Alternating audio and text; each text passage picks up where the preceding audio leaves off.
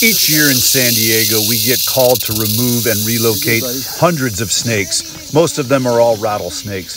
And in all the time that I've been doing this, this is the biggest one we've ever been called to remove.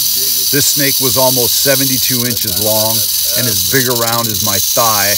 It had just eaten a cottontail rabbit before I arrived.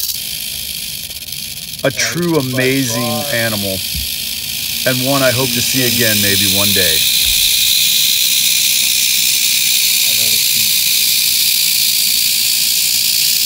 Snake here. We're Okay, this is the biggest one I've seen.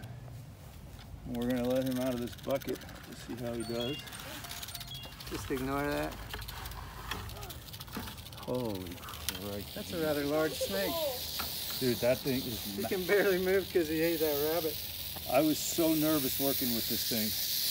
Okay, he's good at that. Wow, he I mean, that is a big snake, guys. He's, he's uh, Gonna need a bigger bucket.